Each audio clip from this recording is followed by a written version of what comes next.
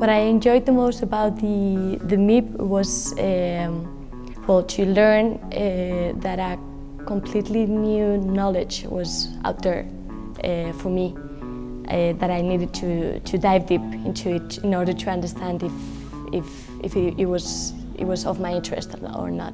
So having the opportunity to, to dive deep into it, it was amazing. I appreciate more about the, the teachers, where the, the way they approach the students in, the, in a humble way, how uh, passionate they were about the content they were providing to us, how they deliver it with, uh, well, like, like a treasure uh, to all of us. Uh, that was definitely what I um, appreciated the most.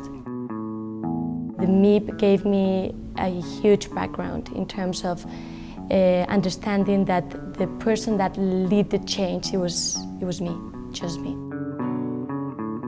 Every year I receive around 10-15 uh, phone calls about possible candidates uh, to join uh, the MIB in the, in the next session.